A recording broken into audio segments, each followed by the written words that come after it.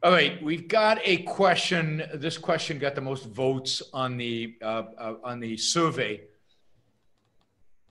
Um, so the question is, could you talk about the results of Finland's basic income experiment? So uh, I think everybody knows what basic income is. Basic income is the idea that um, what we should do is replace. I mean, mostly this is the idea. There are lots of different variations of basic income, but the most rational, the most rational presentation of basic income, which I have an iota of sympathy for, uh, I reject because it's immoral. But but as compared to the welfare state, it's a minor. It, it's a, it, it could be a significant improvement. Um, and, and a way to ultimately phase out the welfare state. So I'm, I'm sympathetic to it as a, as a mechanism to phase out the welfare state. What it really does is it replaces all welfare programs. This is the idea. All welfare programs. And I actually have a twist on it where I even replace public education and all healthcare programs, just all government programs, which basically a minimum income. So what it says is no matter whether you're working or not working, no matter whether you're a billionaire or, or, or the poorest person in the United States, you get a check from the government. And that check from the government is for, I don't know, let's say $12,000. And we're not going to give you any other support. That is, we're not going to give you any welfare. We're not going to give you food stamps. We're not going to give you public education in my world. We don't give you Medicaid. We don't give you anything except this check, and everybody gets it. Now, the reason everybody has to get it to make this work is that one of the problems with the welfare states, one of the practical problems with the welfare state, is that the marginal the, the, the, the, marginal tax for, get, for getting a job if you're on welfare if you're non-employed is massive right? So let's say right now I'm getting welfare and I'm getting all kinds. I'm getting 50 different programs. I'm getting checks. I'm getting food stamps. I'm getting unemployment insurance. I'm getting a bunch of money. None of that is taxed, zero tax. And let's say total, I don't know, I'm getting $15,000 equivalent, $15,000 um, in, you know, in, uh, in benefits. Now, let's say somebody offers me a job for $20,000. Well, $20,000 minus taxes, minus Social Security taxes, Medicare taxes. How much does that net me versus the welfare, right? And I'm going to lose the welfare, right? Because once I have a job, I don't get the welfare. So the incentive to work is gone. Whereas if everybody, so because the work could actually, I could actually be worse off by working than staying on benefits because the benefits are not taxed. And because I lose the benefits when I gain the work.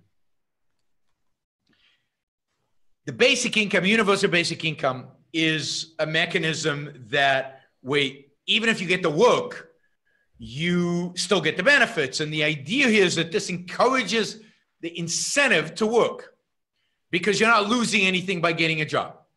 You're not giving up anything by getting a job because all the welfare benefits are gone. You're getting that flat rate check. And now anything you work is additional, it's above and beyond the check that you got. Right? So the idea this this would encourage work. The idea is also that it would encourage risk taking. It will encourage entrepreneurial activity. Because look, I'm getting my $15,000 check from the government no matter what. So if I invest in a small business, and if I lose anything, I'm still going to get that $15,000 check from the government. So it increases the incentive to entrepreneurship. It also, from a free market perspective, it completely eliminates the bureaucracy. That is, all those hundreds of thousands, probably millions of government, state, federal, local employees who administer welfare, who, who do all the stuff that welfare programs do.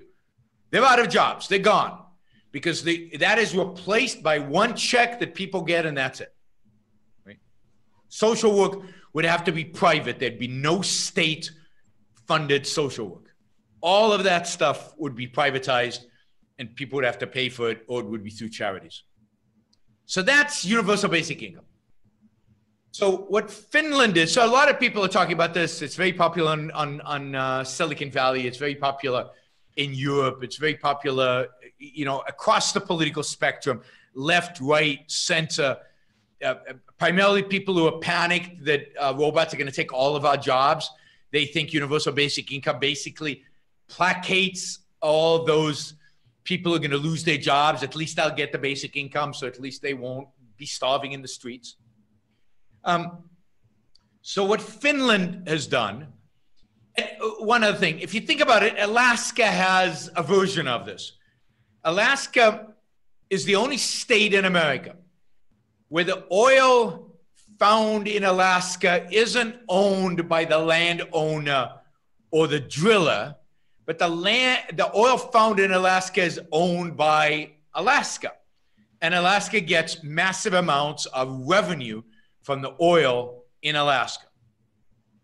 It takes, I think it's a quarter of those revenues, and it gives a check to everybody in Alaska. Everybody in Alaska gets a check for several hundred dollars, I think it is a month, right? It, it, you know, I, I, don't think it's a huge amount, but it's something, right? And there's some evidence that as a consequence of that, uh, let me see, I read about this evidence here. Um, yeah. Uh, oh, it's one fifth.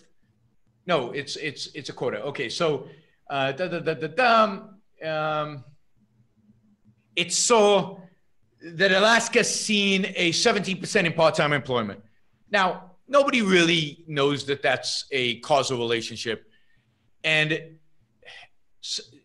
one other thing to say about universal basic income. These pseudo economists who believe that what drives the economy is consumption. They love the universal basic income because universal basic income basically gives money to consumers, to people to spend, which they believe creates economic activity. Of course, what they ignore is that the money has to come from somewhere. It has to be taken from someone. All it is is moving from one pocket to another from an economic perspective. You're taking from the wealthy in particular who would save the money, and you're giving to everybody else who we think would consume the money and they believe that would create economic growth. That's one of the dumbest ideas ever, but that is what people believe. Okay, so let's move to Finland. Finland, two years ago, decided to run a universal basic income experiment. And some researchers at, at, the, at the university, they came up with an experimental design where the government would basically take 2,000 random people, give them universal basic income, and study their behavior versus the people who didn't get universal basic income. The problem is that politicians got involved. And whereas the study design was probably pretty good, once the politicians got involved, the study became a complete joke. Because what happened is, remember, universal basic income is supposed to replace all other benefits. But that's too radical for politicians. So the politicians said, no, we'll just reduce the amount of benefits that these 2,000 people get. We won't. So they gave them 80% of the benefit. So there's still an enormous disincentive to go to work. Then they said, um, you know, one of the advantages of UBI is the recipients of welfare don't have to deal with the bureaucracy. They just get a check. But here, because they're still getting 80% of their benefits, they still have to deal with the bureaucracy. Anyway, bad experimental design. It's been running now for two years. Uh, it was a two year experiment. The results for year number one are out. That is, the results have just been published for the first year. Next year, we'll get the results for the second year. It takes about a year to analyze the results, I guess. Um, and the result is that there's no boost to employment which the whole idea again is that unemployed people would become employed because they the, the disincentive would go away. But of course, because they kept the 80% of the benefits, the disincentive was still there. As soon as they got a job, they would lose that 80%. Entrepreneurship went up slightly, very, very slightly. And, you know, you could imagine that being a result. Anyway, you know, I'm not impressed by the experiment. I'm not impressed by the results. I'm not impressed by what they're trying to do here. I'm not impressed by UBI generally. Um, so I'm not sure I have much to say about this. I don't think we could have learned anything from Finland about UBI. Um, I think if you actually ran a UBI, proper UBI experiment, you probably would see an increase in employment because I think incentives matter. And if you create disincentive to work, people will likely not work. And if you create incentives to work, they probably would work.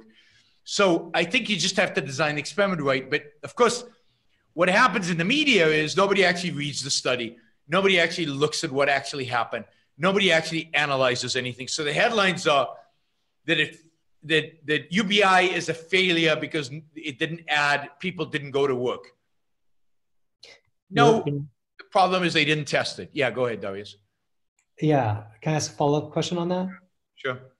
So, so a couple things I never quite understood on the implementation. Um, why does it have to be uh, a cliff where you know if your income you know if your income is over a certain amount it goes away completely it can phase out gradually like many things in the tax code do so yep. at a quarter at a quarter million it starts phasing out and is fully phased out at 500,000 yeah i mean you could do that and and i think some proposals have proposed that i think charles murray's proposal for ubi actually phases it out after a certain level of income probably even below 250 because the disincentive, if it's only $15,000 a year, an extra $15,000 when you're making 250 is not going to change your behavior dramatically. Right. That's why I picked I that agree, number. I agree with that. I agree with you. Yeah. And then far fewer people would have to receive it. Yes, that's true. Although it's still, people have run the numbers. It's still a huge number because every child gets it. You know, it's it's it's a big number. Uh, you know, the most credible proposal around this was made by Charles Murray, but I think even that was pretty flawed it, it, it's i mean i like that everybody gets it because not because of the incentive aspect of it but because i think it's just you know if you're going to do it everybody should get it that is the billionaire should get some of his money back right? Um, and you could probably do it as just as a tax credit or something. But yes everybody should get it because just in the name of justice everybody should get it. Not but but economically you're absolutely right. It would be phased out at some point. Hmm.